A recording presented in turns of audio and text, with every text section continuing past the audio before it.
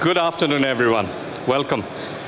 I'm a misfit probably in this session, but I will tell you I'm not completely a misfit because I think now when you are here, uh, after two, three years, you are hearing less of metaverse and more of AI.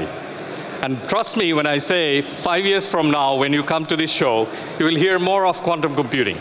And that's what we do in SemiQon. And that's the story I'm going to talk to you about. But before I do so, I'll take you into a journey in the past. This is the device that you have in your hands, in your pockets. It's an amazing computer. And the reason it works is because of this man, Jack Kilby. 1960s, he's the inventor of integrated circuit. Everything that comes after that, Moore's law, chips, computers, desktops, laptops, phones, all because of that. But was there a computer before that? Yes, there was. This is how the computer looked like. And that's how actually we went to moon, using those kind of machines as well. Now, accelerate to the present time, how about quantum? This is exactly how the quantum computers look like now. Sound, look familiar with the people and the cables? Yes, they are like that. But our ambition is to get out of that mode and go to this chip mode. So what we are looking at is quantum integrated circuit, the equivalent of integrated circuits. And this is what we build in the company. What happens after that? What happens after 20, 30 years? Who knows? We don't know that yet. But we are in the path to build those machines that will give the future. Are there quantum computers that are working, that are solving some problems? Yes, there are. IBM is one of the biggest examples that there is. This is one of their machines, or two of their machines. On the left, you see the machine from a few years ago, and the right one is a better machine that's uh, from this year. The number that I look at is the size. It was seven square meters, now it's 44 square meters. That is not the way we want to go. That is not the way how classical computing went. It went for some time, but it went back the right way. And this is what we want to do in SemiQon. We want to reverse the trend. And to do that, now hold on it, uh, hold on it for a few minutes because I will be talking about, uh, let's say, a bit science here. So what we want to do is to take that big bulk machine that IBM has, and with our processors or our techniques or with our quantum uh, integrated circuit, we want to bring it to a level of a desktop. That's the ambition that we have in our path. And we, to do that, we need to solve a few problems, few little engineering problems. And there are three that we have identified to be the crucial ones. The first thing is we need to get something called the qubits small. They are the ones that make the quantum happen. So they need to get smaller. We need to operate at higher temperature.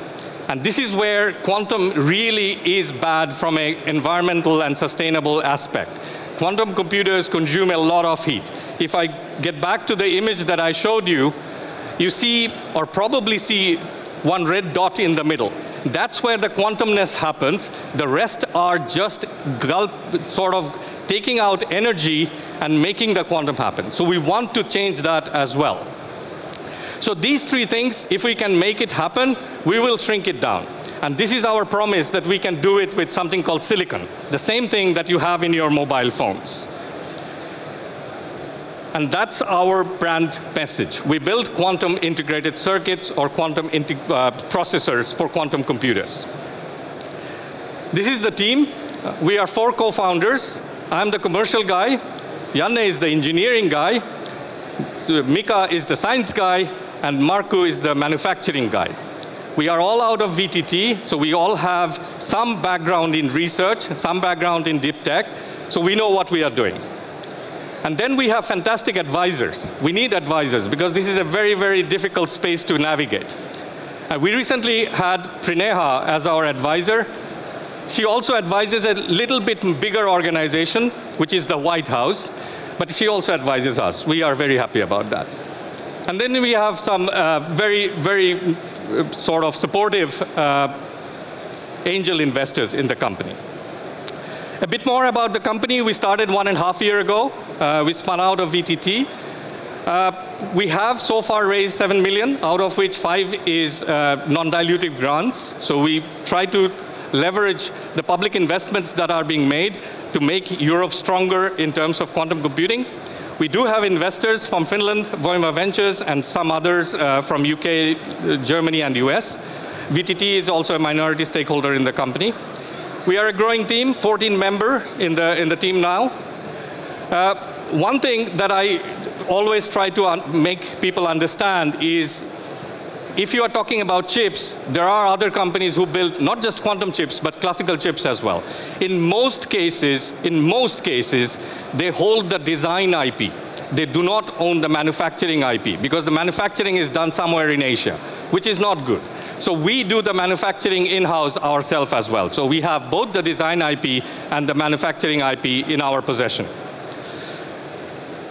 well, how are we better than the competitors? Uh, there are many ways I can explain it, but three things that I would uh, touch upon is manufacturing, which I already mentioned. That's the key aspect that we own the process that we build our chips on.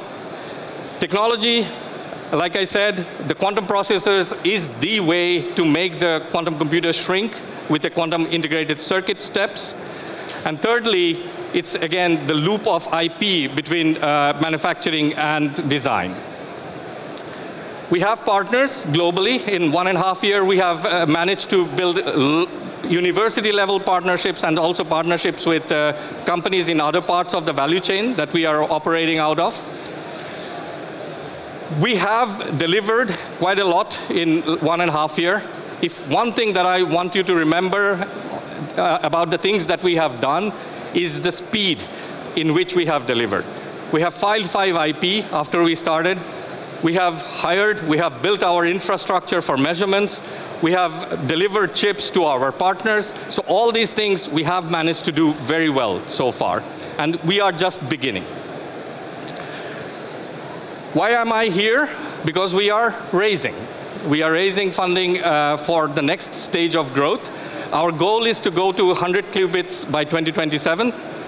And we are also looking at a, a, revenue stream, which is a side stream for us. I'm happy to discuss it in personal uh, discussions. So that's a unique position in the quantum industry right now to have commercial revenue. We are looking at global expansion. We will be in US. We will, we will be also expanding in Europe further. We are going to build a commercial team. I'm right now the only commercial guy in the company, so we need a team. Uh, we also have to expand the technical team we have, and we have to increase the capacity to deliver to our customers. So if you are interested in investing in, in uh, quantum, which is a bit into the future, but you want to uh, experience that journey and have trust in the uh, technology, please come and talk to me. That's all I have for you. So SemiQon, we build quantum processors for the next generation quantum computers. Thank you very much.